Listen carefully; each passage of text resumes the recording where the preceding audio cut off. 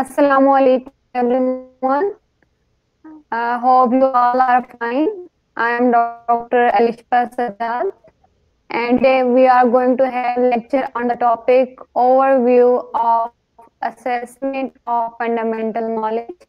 And to deliver this lecture, we have a special guest, Dr. Naghman Zuberi with us. Uh, hope you are fine. I'm good, thank you. Alhamdulillah.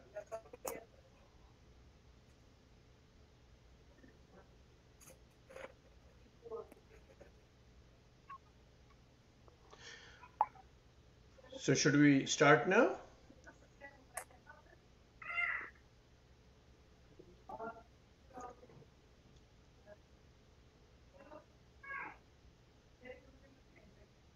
So Dr. Alishba, should I start my lecture now, my uh, presentation now?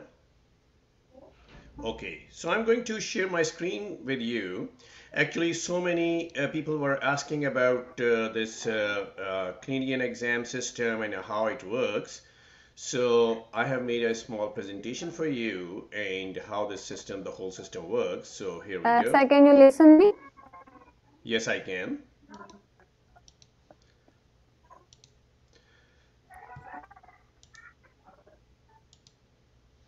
Okay, so we will be uh, discussing about how the assessment of fundamental knowledge exam it was being conducted in the past and now how post-COVID new challenges and how this exam has been uh, made uh, in such a way that it is now going to be computer-based exam and is going to be conducted at the Prometric centers. First of all, let's see what we want to know about this uh, exam and about the Canadian systems. So goal of this webinar is to provide students with strategies on how to prepare for exams and how to strategically answer the multiple choice questions. Well, first of all, prepare for the exam, study, and you should follow the test taking tips. MCQ exams, apart from your knowledge, apart from the information you have, they also base on certain tips which you have to follow to answer those questions and out of which one important aspect is time management. Then you need to know how to analyze an MCQ to properly answer that question. And definitely with the improving your knowledge, the information you have, and to strategically uh, learning how to strategically analyze the MCQ, that's how you will prepare your exam and definitely control your emotions because when you are preparing for these exams, you get panicked. So all of these, they will improve your performance on the examinations. Let's see first of all how to become a licensed dentist in Canada. All of us who are somehow looking into the system of the Canadian dentistry, all of us have followed with this flowchart that we have two different types of categories in Canada. Those are the graduates which are coming from abroad and they are graduate of the non-accredited programs and those who are here went to the universities over here and those who are graduate of the accredited dental programs.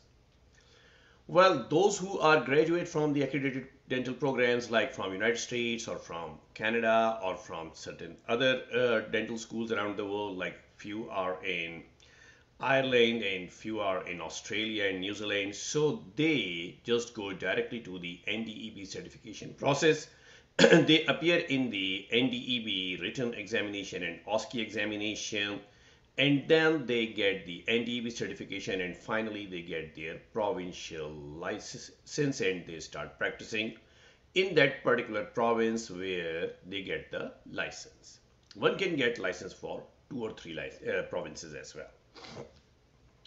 Those who are coming from those countries, the immigrant dentists who are graduate of the non-accredited dental programs, when they are going to the general dentistry at the moment we are only and only focusing on the general dentistry. We are not going to discuss about the specialty program at the moment general dentistry. Well they have to go through the NDEB equivalency program then they have to go for assessment of fundamental knowledge exam after that they have two paths either they can take two further exams. One is the assessment of clinical judgment exam and the other one is assessment of clinical skill exams. Or they can go to the university for two years or three years program depending upon the university they are joining like few universities they offer two years program or uh, few universities they offer three years program. Those are called degree completion program or qualifying programs. No matter you went to the university or you have followed the direct licensing uh, path and you appeared in two further exams that is ACJ and ACS everyone has to pass this NDEB written examination and the OSCE examination to get the NDEB certification. And finally they will apply for the provincial licensure.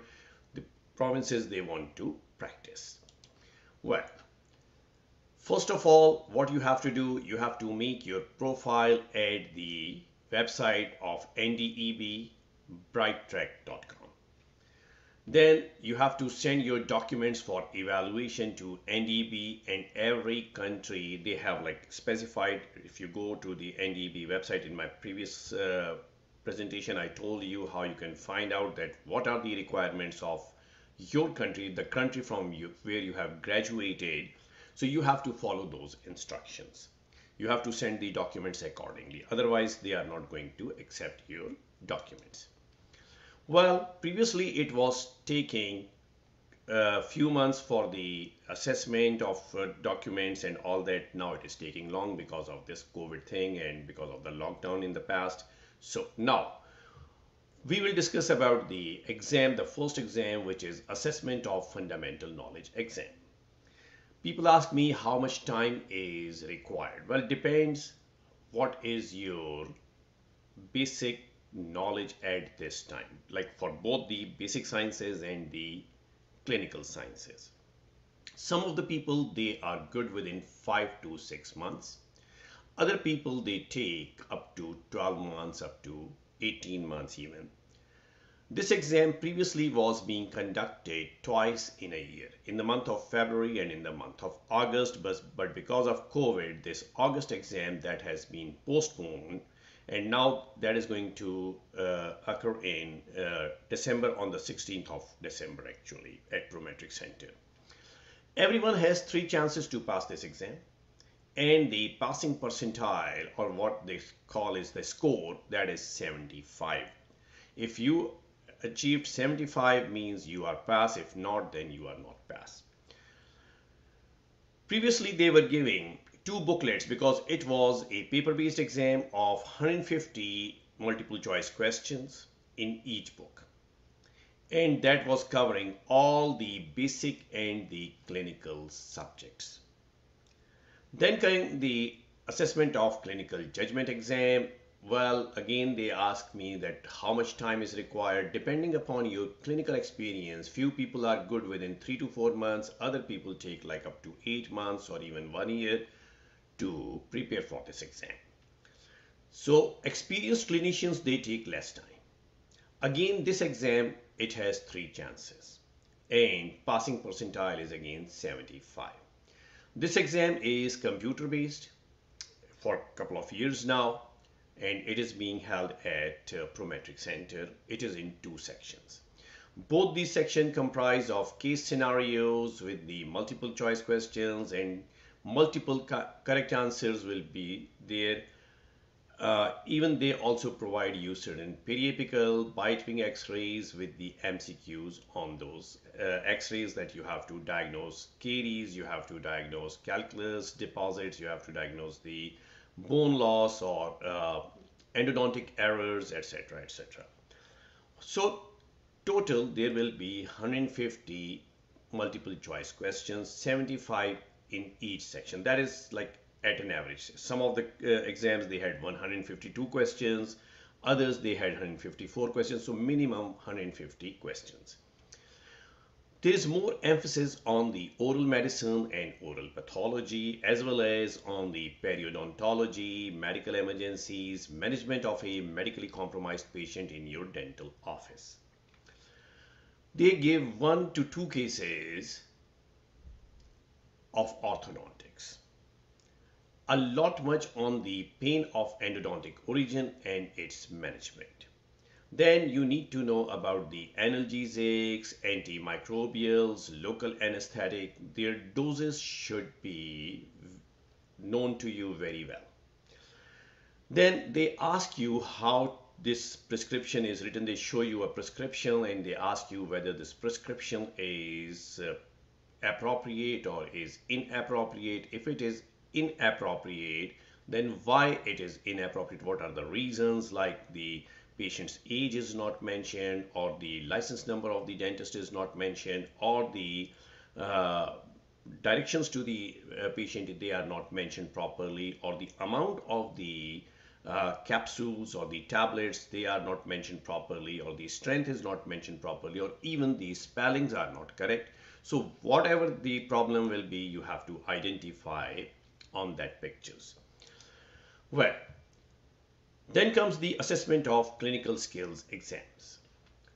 It is a two days exam with a lot of stress and pressure. Again, this exam is with three chances. Preparation time depends again upon your clinical skills. There are 12 exercises to be done like class 2 MOD preparation, MOD filling on the pre-cut teeth, at times even they give you MODL with the cuspal buildup as well.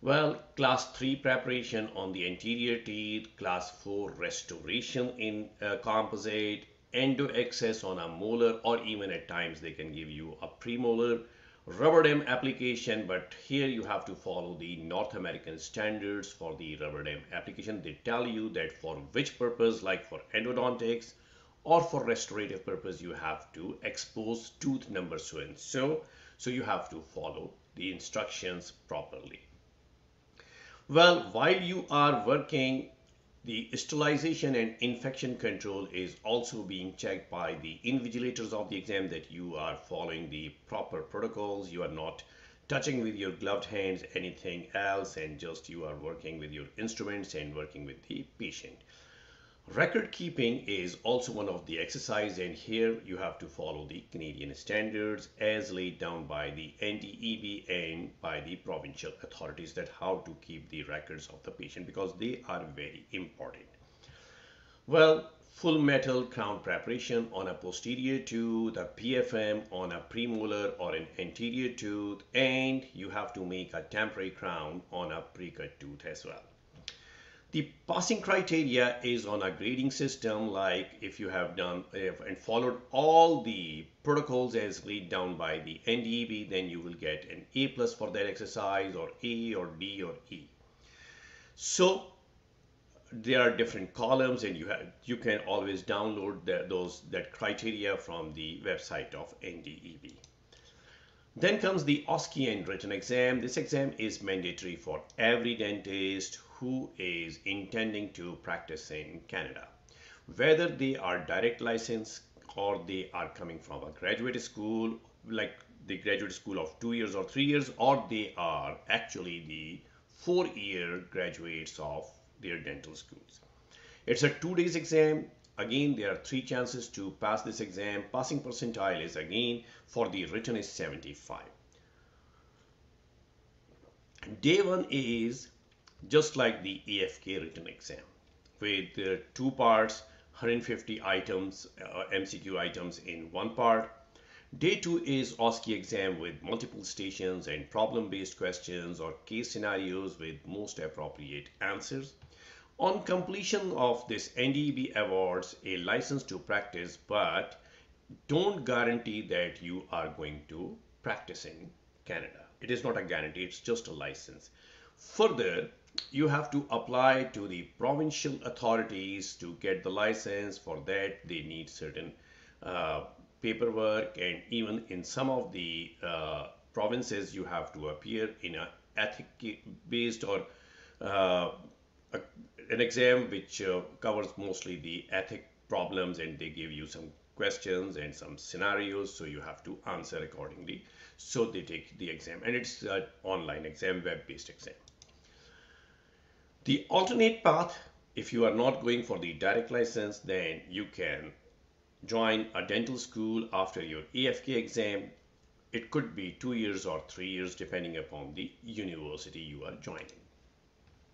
Requirements to go to the university is either you should be a Canadian citizen or a permanent resident.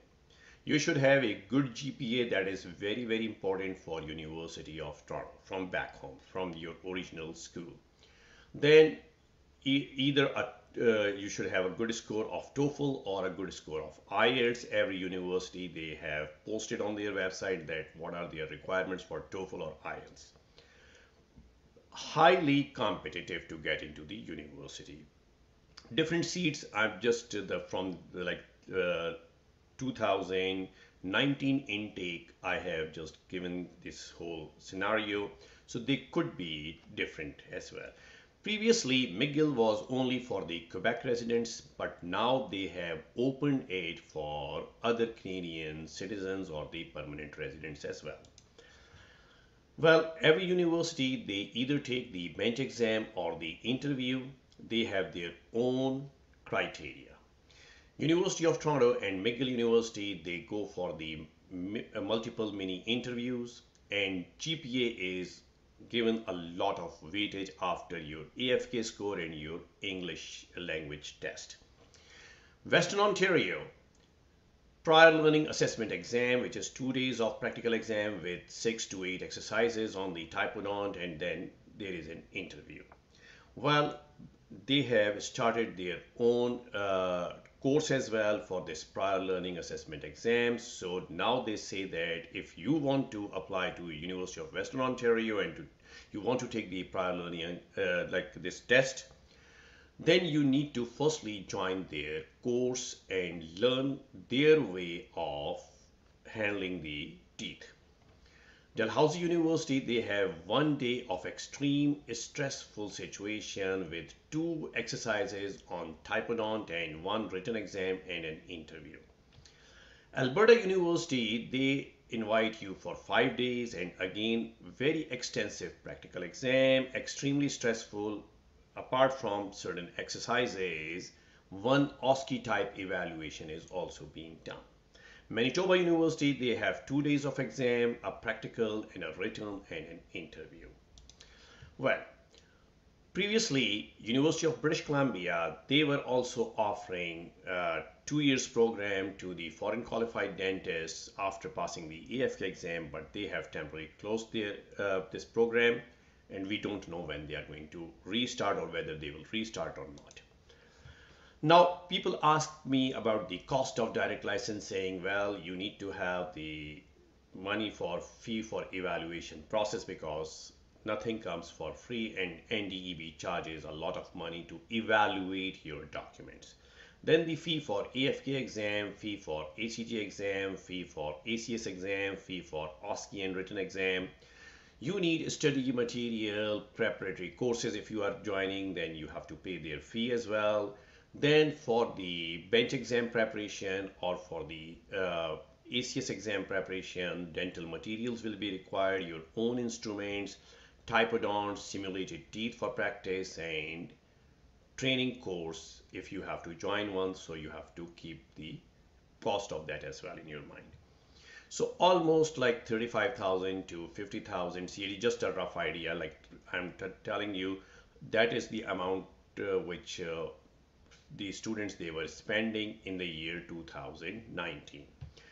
Time required well, if everything goes smooth, then the whole process takes up to 18 to 24 months, depending upon the situation. Cost for university program, there after like first of all you have to get your documents evaluated at NDEB then you have to pay a fee for the AFK exam then study material and preparatory courses then you have to pay university fee book residence computer instruments and supplies yes. Before joining the university when you are applying then you have to pay the uh, application fee and some of the universities which are inviting you for the bench exam so you have to pay somewhere 1500 1600 to 2000 dollars for the uh, uh, this um, uh, bench exam fee as well. So almost up to 200,000 including everything you can just look for that uh, if you have joined a dental school. Time required after AFK one year gap is there between which they will be inviting you for the interview for the bench exam you they will assess your documents and everything and then they will start the course. Then it will take two years or three years for the schooling depending upon the university you have joined. This system like all these systems in the world they have new challenges because of covid so we are also having challenges First of all, social distancing. So the number of exam takers will be limited as per requirement by the Prometric Center as well as by NDEB and by the city where you are taking your exam. There will be gap between the seats. Masks could be mandatory. Well, uh, another important point is if you are traveling from other city, other province to that city where you are taking the exam, then you need to quarantine yourself for 14 days at the moment. This is the scenario. And then you have to provide the proof of quarantine to the uh, Prometric Center that you've been properly quarantined and now you are safe to, uh, and the public is safe from you to appear in the exam. You would be required to reach the exam when you well in advance because of the slow process of making you sit in the exam before checking your IDs and doing the protocols. This is the Prometric Center and yes, Prometric Center is a third party NDEB is using them to conduct their exam like many other uh, different authorities they are using prometric centers for conducting their exams. Even the American boards they conduct their exam for a couple of years at the prometric center. When you reach over there they give you uh, a locker where you are going to keep all your stuff. You are not allowed to wear your cardigans or your jackets only the uh, pullovers would be good. You can wear the pullovers to go into the uh, center, like for the in the examination area. You will keep even your uh, watch, your car keys, everything you have to keep in the locker.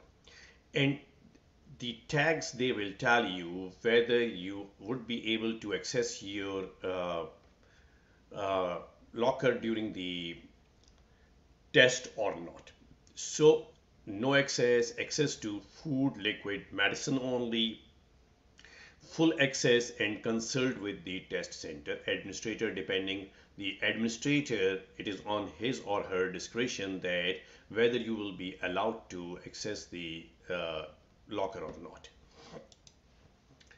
This is how the setup in the uh, prometric centers. I think because of the COVID, now they will be definitely putting you on uh, a gap, like there will be a gap of one seat. I'm not sure, so it, we are going to see what is going to happen tomorrow, a day after tomorrow, when they will be conducting the exam for the first time of this AFK at uh, Prometric Center. Well, uh, this is the set. Uh, what happens? These uh, mostly the uh, keyboards they are of like very old style and there will be always a clicking sound coming from the uh, other person. So they provide you this uh, these uh, headphones which you can uh, not the headphones I must say the headset actually which will uh, make this uh, sound coming from here and there vanish and you can concentrate on the screen. The administrator they will put their password in the computer to run your test and then they will ask you to check your picture your id and or your name and all the information. If it is correct then proceed. Now question arises how to prepare for this exam. First of all the approved textbooks the approved information which is coming from different journals from the different uh, textbooks and the reference books it need to be there with you. Well if you are taking a course then attend class over there. Your instructors working hard on these uh, pre-approved and uh, these uh, latest texts and latest uh, books and journals they have definitely condensed the courses for you. While you are attending the class take the notes. And definitely you need to ask the questions from the instructor if something is not clear to you. On the same day when you are going to attend the lecture review and edit your notes. And then ask you yourself those questions like if the uh, question would be coming this way or that way or what would be the other scenarios uh, in the same situation like if they have given you any info information for some young adult what if it would be an elderly person? So what would be the dose of the drug and things like that? Well outline the major topics looking at the released file that okay these are the major topics they are asking. Uh, the released file they release every year with an improvement and adding some new questions and subtracting those questions which are getting obsolete from the topics which are getting obsolete. So the latest release file at the moment which is available is 2019 you can download it from the website of uh, uh, NDEB and all the questions over there they are basically guidelines. They are not uh, meant that those questions will be appearing ditto in your exam. They are, those are basically giving you a guideline okay you need to know these major topics. Read the text selectively review and integrate all the information you have. Well daily review notes are very important you can make your own note cards, flashcards, develop a study schedule, develop these study sheets for exam, read and condense the notes to one-page guides with key points. Reorganize during your, your study time so that you will be having just before the exam like maybe 10 days or 15 days earlier so you have very few things to revise. Over the years, this exam it has been converted from the factual knowledge exam to the critical thinking exam. So first of all, let's see what is the factual knowledge exam.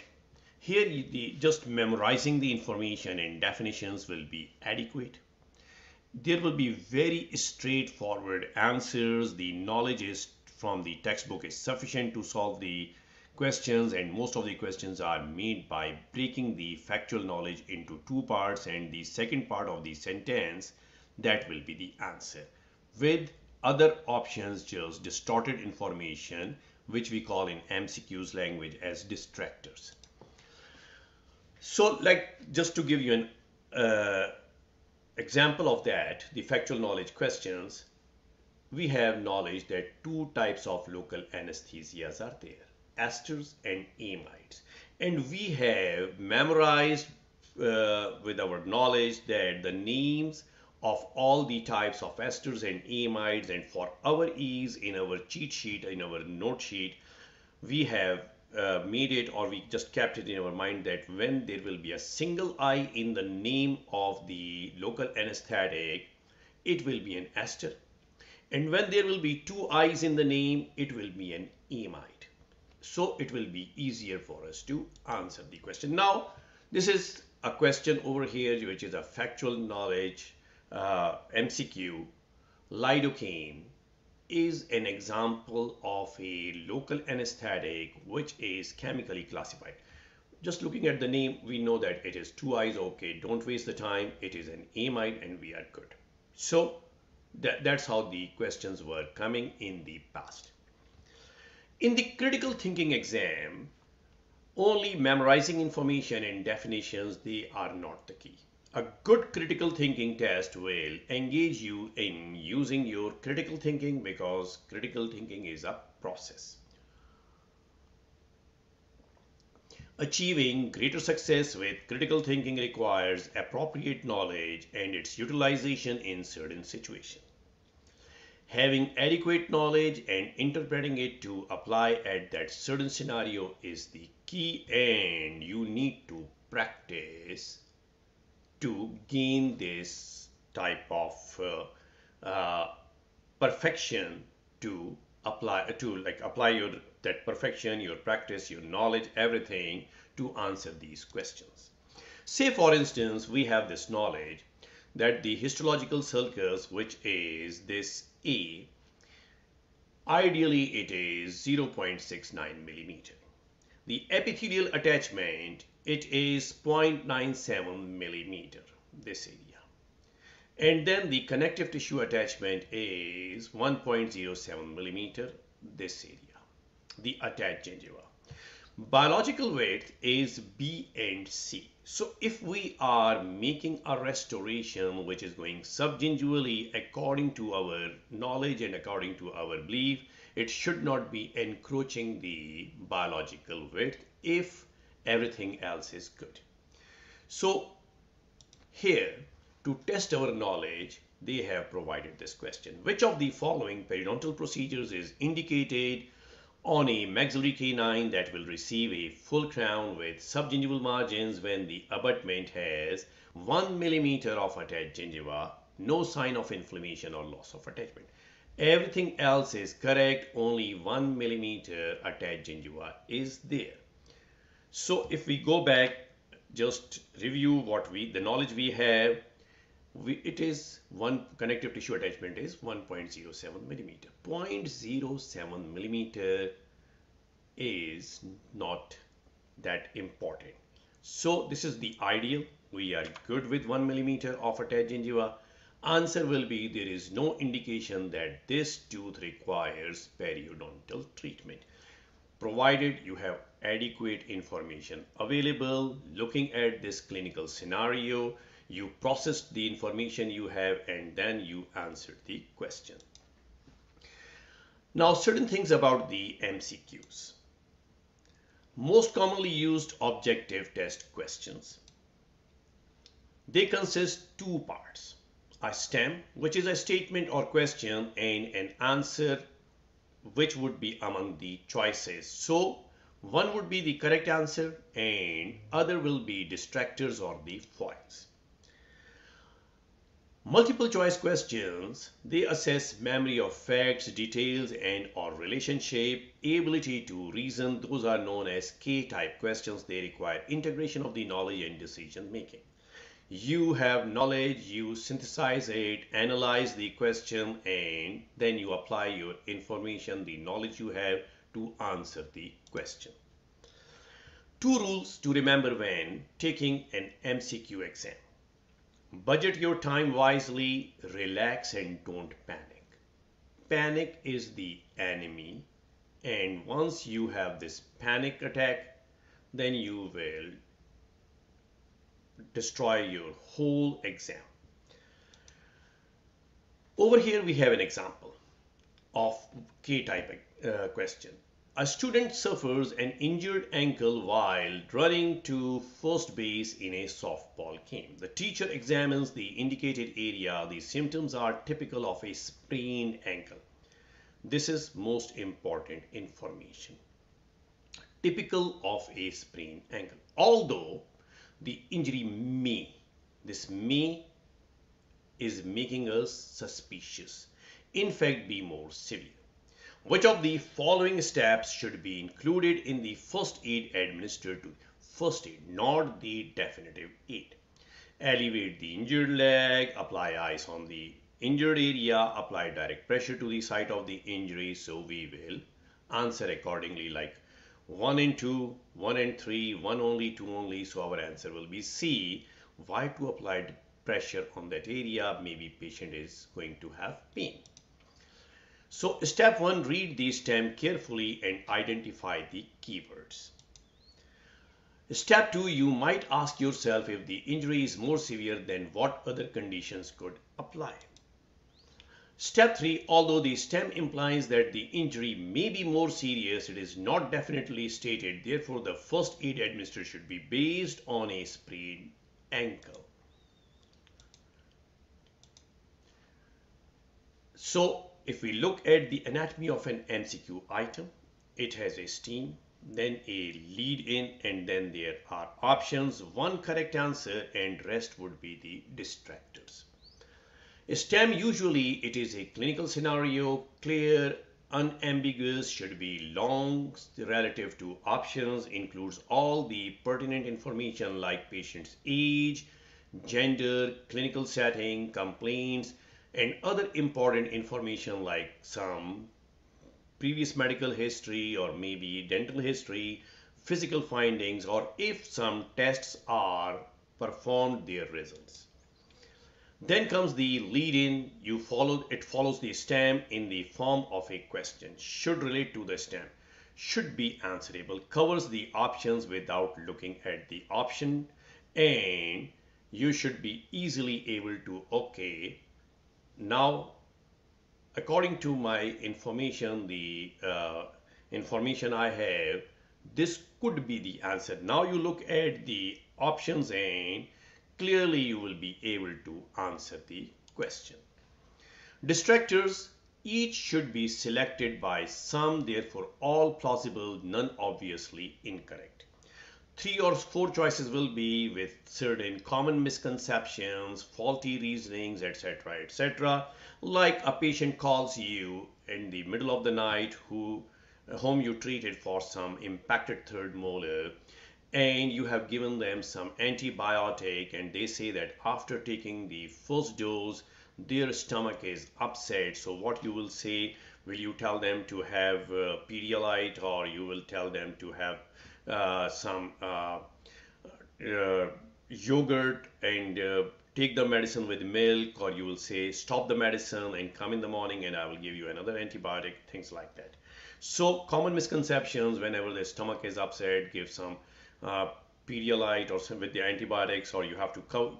Now once you have started the antibiotic, you have to finish it without thinking that it is not uh, uh, suiting the patient, it is giving some kind of problems. So we should stop it or not. So these are the misconceptions and what would be the actual answer. You have to answer that. A well-written MCQ will be clearly worded and avoid giving clues to the best answer. Types of MCQs like true or false family, usually they do not come in our exam. If they will come, then there will be two statements and they will say that the first statement is true, second statement is false, both these statements are true, both these statements are false. First statement is false and second statement. So those will be actually those statements which are coming from your uh, books, reference books, they would be covering some very important facts. Then comes assess recall of the isolated facts. Stems must be clear and unambiguous. Options must be absolutely true. False or examinee must decide how true options are. Generally, they do not appear in your exam. As I told you, they have several flaws. Only and only factual knowledges in the form of a statement they will come and there will be two statements. So one statement will be false and the other statement will be true. But usually they do not appear in the exam. They may appear or they may not appear. Like over here, we have an example of true-false questions. When managing patients with true latex allergies, which of the following statement is true? The sterilization process effectively removes latex proteins from the instruments handled with latex gloves. Latex protein antigens can exist in the ambient air for a minimum of 10 minutes following the operative procedures like the follow time. Emergency kits should be available that contain latex free material. This is most important and this is the most relevant answer. Patients should be scheduled at the end of the day to avoid any exposure to latex products in the dental office. All like A, B, and D, they are false. C is the correct answer. All true except type questions many questions in the released file of NDEB, they are there. All of the following are possible effects of acetyl salicylic acid, except. First of all, looking at the statement, we know acetyl salicylic acid is an analgesic NSAID. It has some problems with the gastric irritation and it is also prolonging the bleeding time. So it is also provided to those people where uh, blood thinning is required in very uh, small doses. Looking at it, we have all the information, we synthesize that, we organize our information, and then we look at the uh, options. Reduction of fever. Yes, we know that it is an antipyretic apart from being an analgesic and anti-inflammatory. It does not shorten the bleeding time. The bell rings in our mind. We know that it prolongs the bleeding time. Suppression of inflammatory, yes, it is an anti-inflammatory, so it is going to suppress the inflammatory response. Bleeding from the GIT, yes, it has a side effect on the GIT mucosa and may lead to uh, gastric bleeding. So C, D and A, they are all true, but B is not true, so that is the answer. That's how we synthesize our knowledge and then we answer the MCQ. Another process is process of elimination. Some of the questions they are coming from some research work or from some uh, thesis which are uh, being submitted in one of the universities and professors they found it uh, like some interesting uh, part of it of those theses and they construct a question out of it here you have to go through the elimination process if you have don't have prior knowledge about it Process of elimination is the most effective way to improve your chance of selecting a correct answer. Eliminating firstly the incorrect answers. Details are important. Watch the subtle difference in answers choices. Use question stem to find the key text. Answer choices must be logical. If reasoning for answer choice is not correct, then answer is not correct. Say for instance, like in the incorrect answers, there will be they uh, are trying to misrepresent a fact or multiple facts. Ignore the central issue, issue in the question. They may have some faulty reasoning. The correct answers, they will be stating a fact or multiple facts. Address the central issue in the question and they would be having a sound reasoning. One best answer family. Now these questions are also there where there will be multiple uh, correct answers but you have to choose the most appropriate correct answer. Those are known as one best answer family. So maybe other uh, options, they will be correct but least correct. One would be obviously not correct or one or two would be obviously not correct options. One will be the most correct and that would be our answer. So we are going to choose that one which is a very strong fact. We know from our knowledge, from our uh, education, the uh, text we have studied.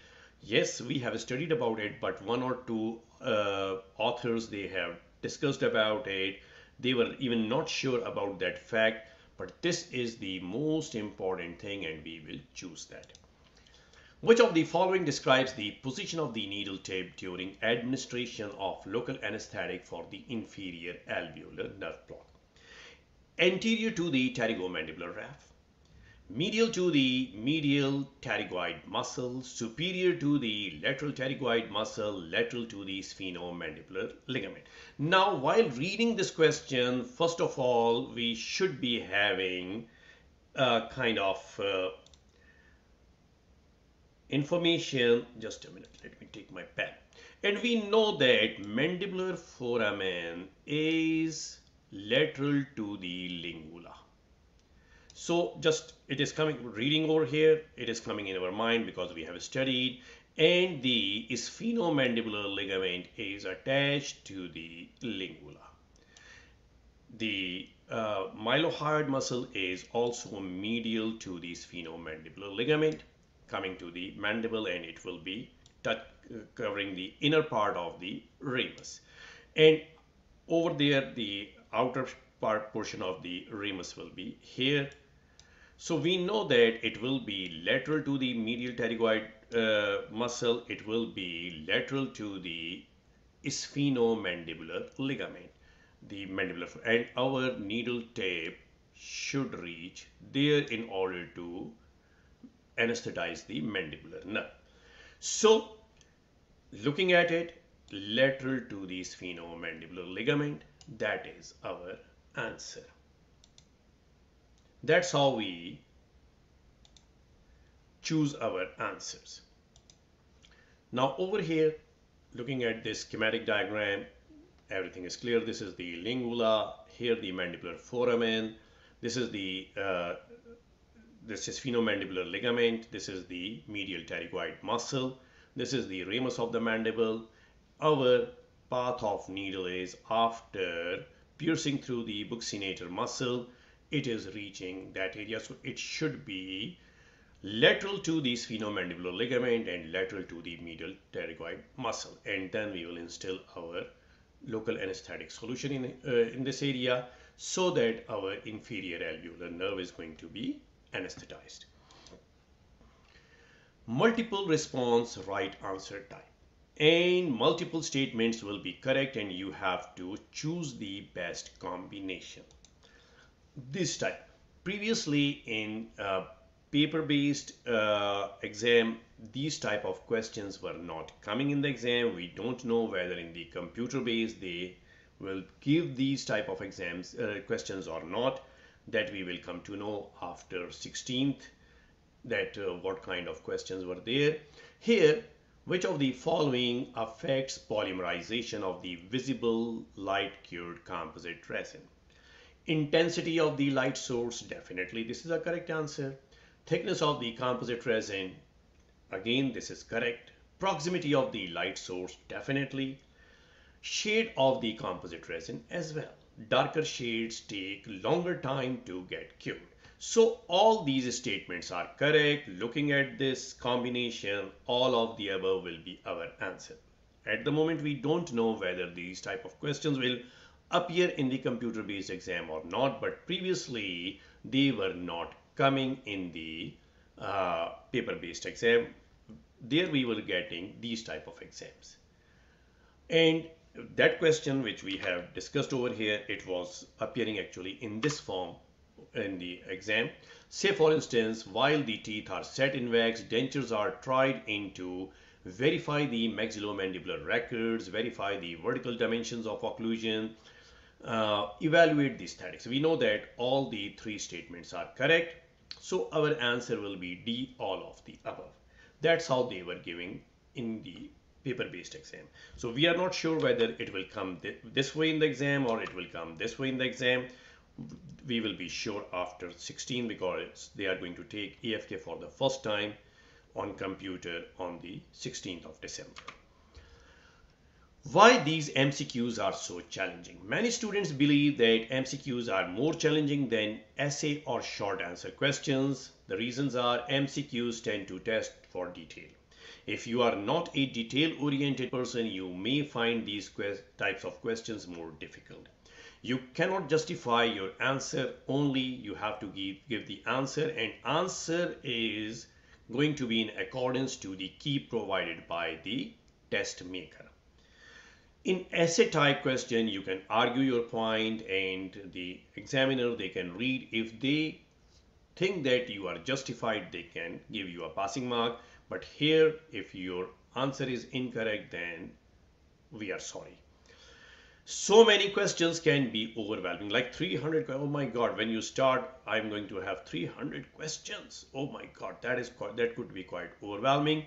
Even though MCQs tend to be worth less than an essay question, some students prefer having fewer questions to focus on.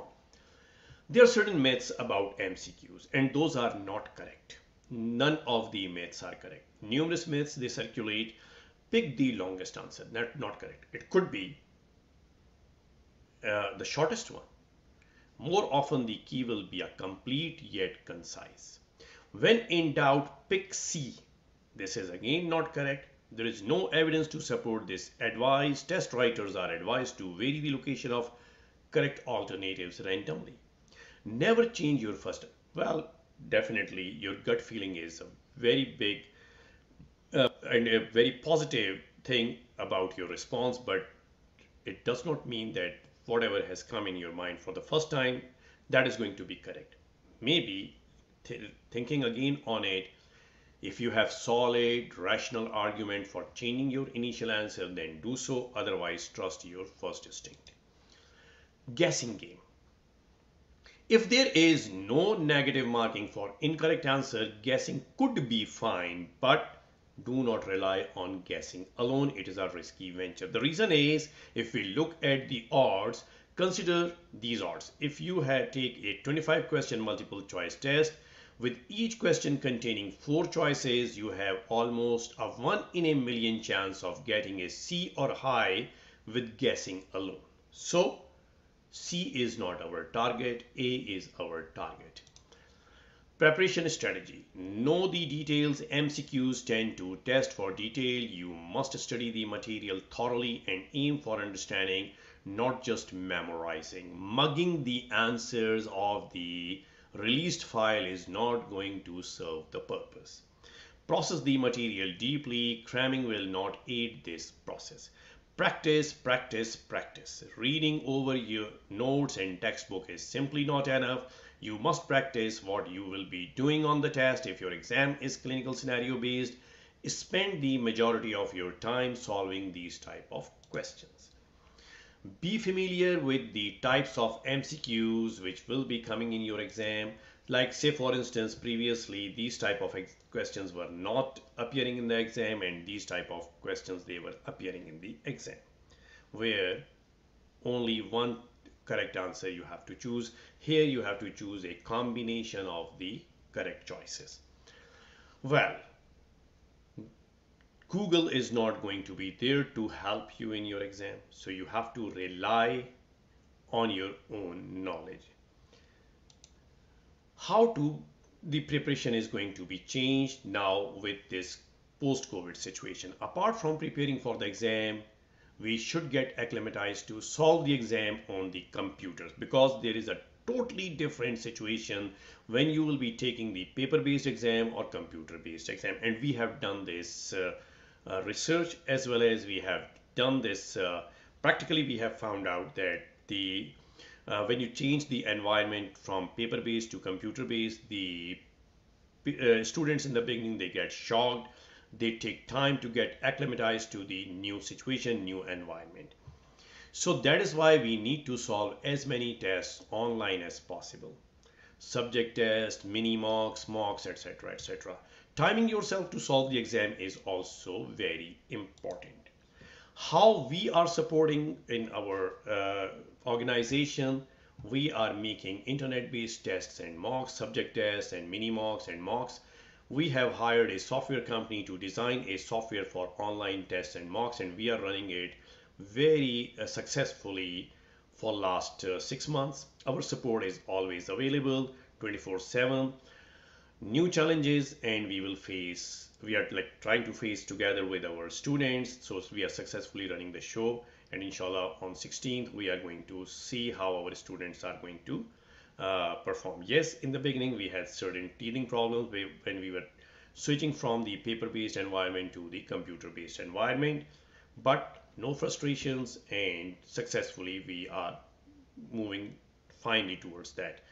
24-7 support is there. Our software team as well as our the instructors they are available 24-7 to the students and from our previous students you can find it out that's how we have constructed the online test and it is also time based it will tell you how much time is left how many questions are left etc etc and once you are done with your exam then it will tell you that what is your correct answers how many wrong answers and you can email the uh, result to your uh, like the email which you are using to log in our system, then your email, uh, the result will be emailed.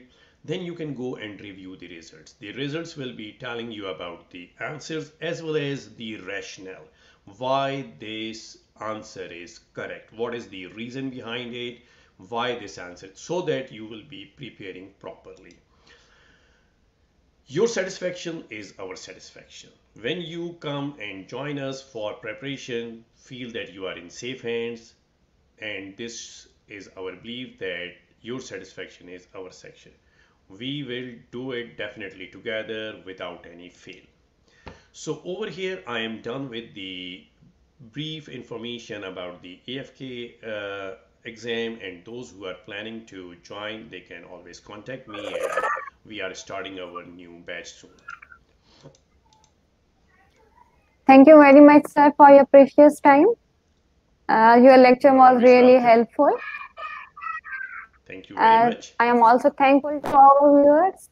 Thank you, sir. Thanks a lot, everyone. Uh, that's it from today. Allah. Thank you very much.